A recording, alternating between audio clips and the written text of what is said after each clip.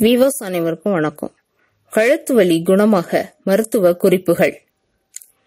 Ice கட்டியை எடுத்து ஒரு துணியில் சுற்றி வலி இருக்கும் இடத்தில் அந்த துண்டை வைத்து ஒற்றி எடுக்கவும். இரண்டு நிமிடம் தொடர்ந்து செய்தால் கழுத்து வலி குணமாகும்.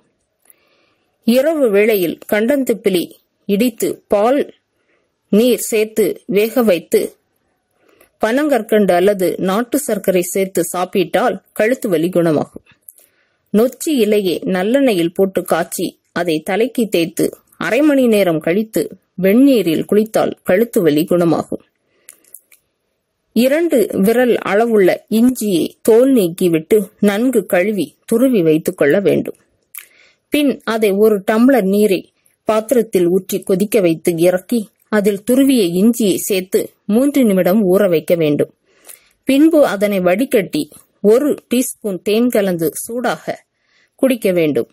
இந்த இஞ்சி டீயை தினமும் இரண்டு முறை என வாரம் ஒ- தொடர்ந்து குடித்து வர கழுத்து வலி குணமாகிவிடும்.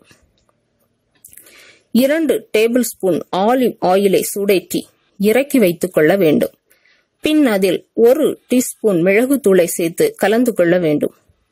அந்த கலவையை வலியுள்ள கழுத்து பகுதியில் தினமும் இரண்டு முறை என ஒரு வாரம் தொடர்ந்து பயன்படுத்தினால் கழுத்து வலி குணமாகிவிடும்.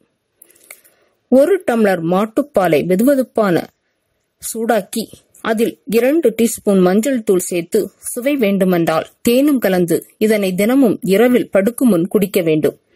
இப்படி ஒரு வாரம் தொடர்ந்து குடித்து வந்தால் கழுத்து வலி குணமாகிவிடும்.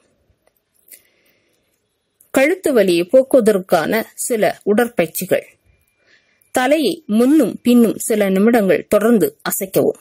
பிறகு இரண்டு பக்கமும் மாறி மாறி தலையை திருப்பி இருபது முறை தொடர்ந்து பயிற்சியை மேற்கொள்ளவும். சிறிது நேரத்தில் கழுத்து வலி காணாமல் போய்விடும்.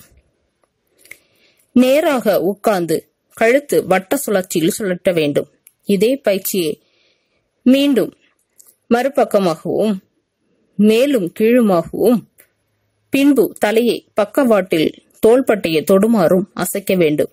இந்த பயிற்சியை தினமும் நேரம் கிடைக்கும் போதெல்லாம் பின்பற்ற வேண்டும். இப்படி செய்வதால் கழுத்து வலி குணமாகிவிடும்.